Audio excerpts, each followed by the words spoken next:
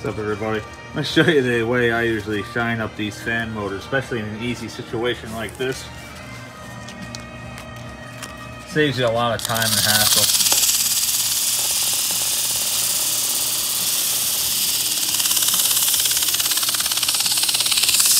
You don't want to go overboard with it. You don't want to change the diameter of the, uh, of the spindle. But do leave it on there to take all the surface rust off. Like I said, you don't you don't want to put a lot of pressure on it.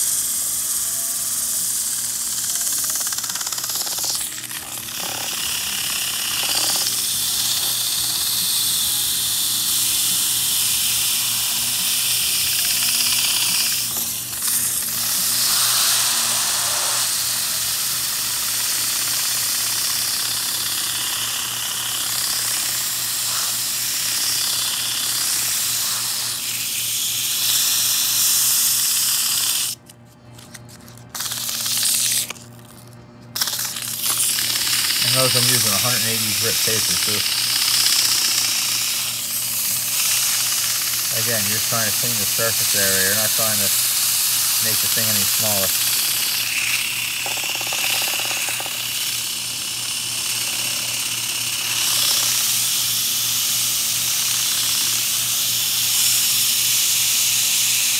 I was gonna take this motor apart and clean it up a little bit, but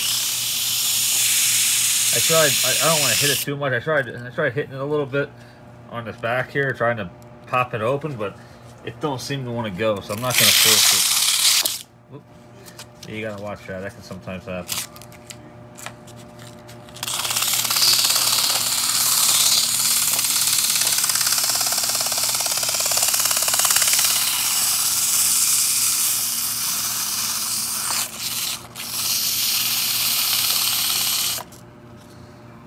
That's the freaking oil.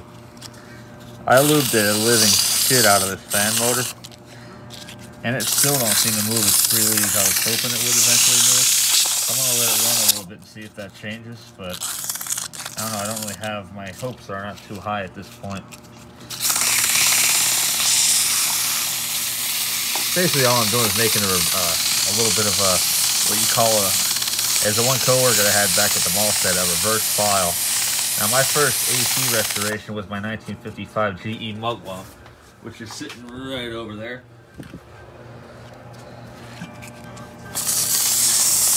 Um, however,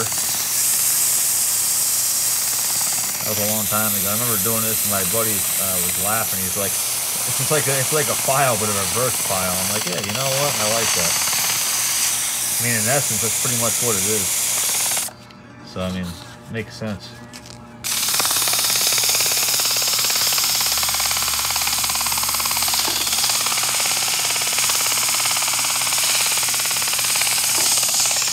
The motor runs quiet and it runs and it runs cool. So um, I don't really, like I said, I'm going by my rule here where if it ain't broke, don't fix it. If I ever have a problem with it, well, not that I think, I don't think I'm ever going to, but if for some reason I do, I'll worry about it at that point. Well, I don't really see a reason why I would ever have a problem with it. These old General Electric fan motors that the Fedders use are pretty damn reliable in my opinion.